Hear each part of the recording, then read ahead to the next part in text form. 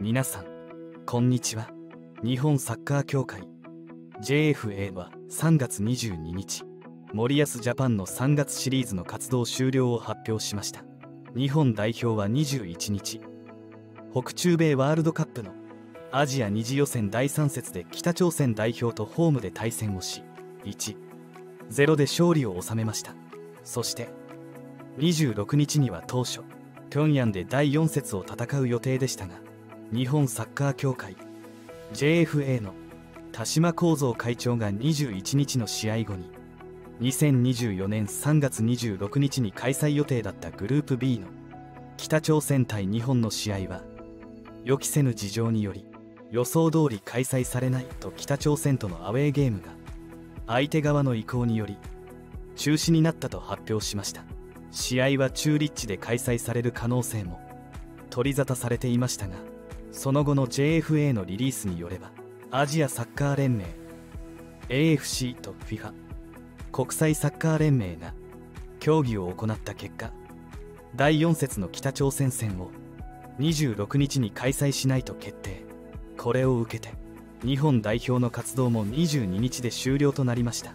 この事態について海外メディアも報じており A 氏3は不測の事態により決定したと伝えた上でこれによりキャプテンの遠藤航はプレミアリーグのタイトルを目指してリバプールに戻ってくることに注目していました。さらにルートンの橋岡大樹も北朝鮮代表とのホームゲームに出場していた。その他にもスポルティング CP の森田秀政セルティックの前田大然レアル・ソシエダの久保建英といったビッグネームが今回の日本代表に含まれていたと記し日本代表が予定より早く解散となりそれぞれのクラブに戻ることを伝えていました。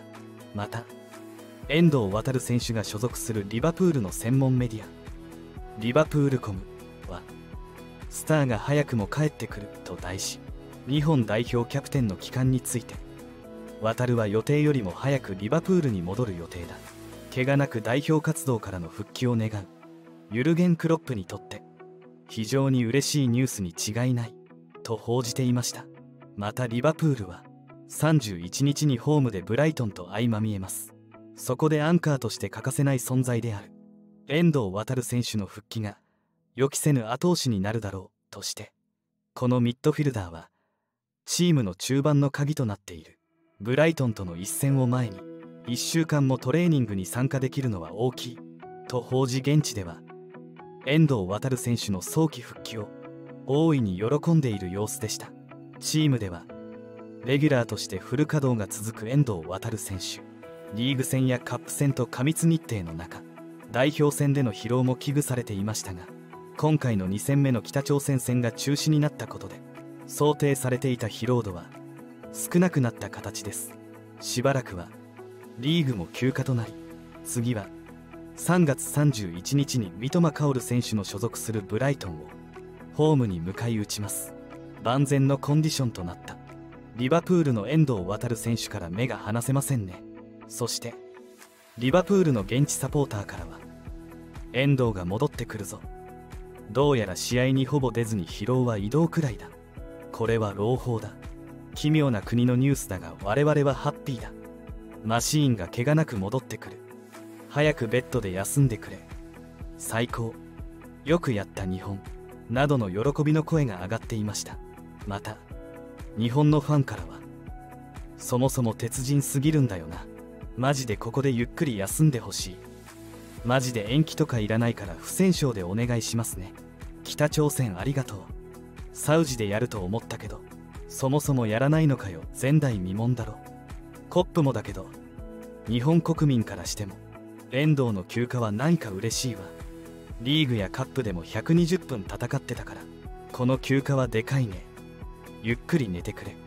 ここで回復して。リーグ終盤に向けて頼むぜ渡る。優勝には絶対に不可欠だぞ。他の国では代表戦で怪我人が出てる中で。これは大きい。久保も遠藤も怪我なしは最高。これでトミーも復活するし。プレミア優勝から目が離せないな。三笘も早く怪我を治してほしいね。これは確かにレッツにとって大きい。現在レッツのアンカー本職は遠藤しかいないからね。アンカーをできる選手は真っ赤とかもいるけどインサイドであれだけ活躍してる真っ赤をわざわざアンカーで使うのはもったいない。とにかく早くバイチェとジョーンズが復帰してくれれば遠藤と真っ赤を酷使しなくても済むんだがニュース見てクロップ監督が一番喜んでそうだなと思ったらリバプールメディアで本当に記事が出てるとはめちゃくちゃハードスケジュールだったから休養できてよかった。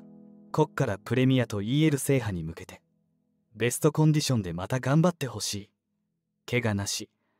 代表での疲労蓄積ほぼなしでチームに戻れてよかった。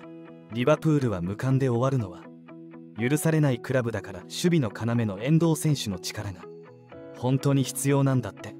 リバプール専門メディアの喜び方からでもよくわかります。代表でも遠藤選手投入からチームに落ち着きが戻ったようにまたリバプールでの活躍期待しています。海外サッカー好きには結果的には嬉しい誤算。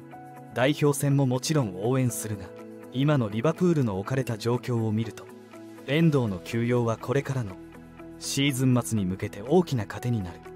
今回招集されたチームにとっては予定より早く帰ってくるし選手としても何が起こるか分からぬ得体の知れない場所に行かなくて済んでほっとしてると思うしまあこのあとどういう決定下されるか分からんがとりあえず安心してる関係者が大半だと思う。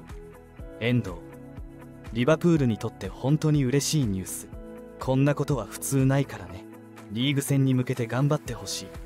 などのコメントがありました。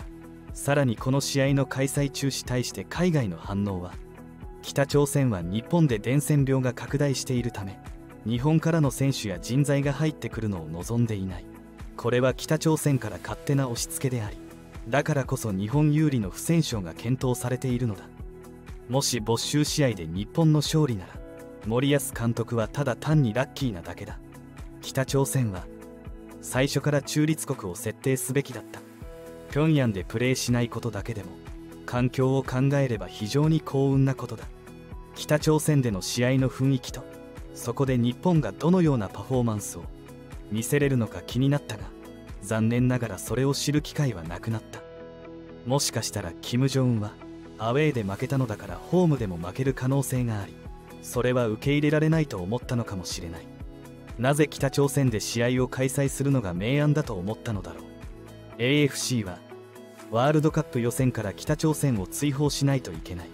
などのコメントがありました。いかがでしたでしょうか？最後まで動画をご視聴いただきありがとうございました。コメントを残してくれると嬉しいです。チャンネル登録高評価もぜひお願いいたします。それではまた。